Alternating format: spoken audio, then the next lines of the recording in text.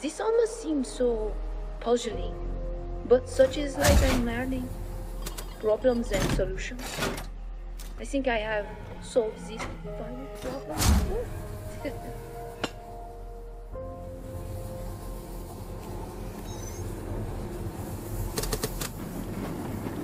it was here, in the seed box, I first met Turner.